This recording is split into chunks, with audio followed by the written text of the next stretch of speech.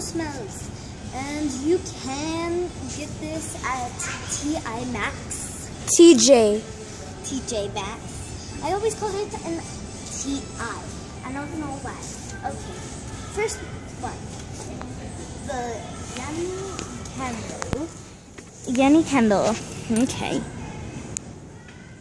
Okay. Don't tell me to shush and go away. Okay. Um. So let's see what it smells like. If you ever went to a hotel and smelled bath soap, that is what it smells like. I recommend not getting this unless you're going to use it to wash yourself. Okay. The next one is the yucky candle. Uh, candle. Iceland time. Island time. And let's see what it smells like. Okay, I kind of recommend this. Um, Still smells like the very first one. it kind of smells like this, mixed in with a type of like blueberry smell. Okay, our third one, the Yakimi candle. They all say that. Look. leather. Yakimi candle. Okay, this is Yakimi candle. this is called leather. Candle.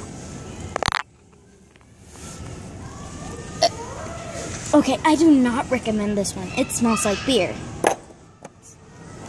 Okay, the Fraggin Candle. It, I really recommend this one. I do too. It smells like lemon paradise. If you ever had candy that was like lemon, Like you tasted oh, Starburst. yes. Starburst? Starburst? Starburst? Don't get me on tape, Tony. You should smell this. Don't our get first, me on tape. Our first competitor of smelling this. Would you recommend buying this? What and, and what does it smell like? Oh my gosh. Starburst or soap? Starburst or soap? I think so. It's candy, but not Starburst. Starburst. Ooh, look at What does that smell like? Nothing nice. Hmm. It Nothing does. It smells like roses. Ordinary. Ordinary. Yes. Okay. Or I have more candles up front. okay. Some that say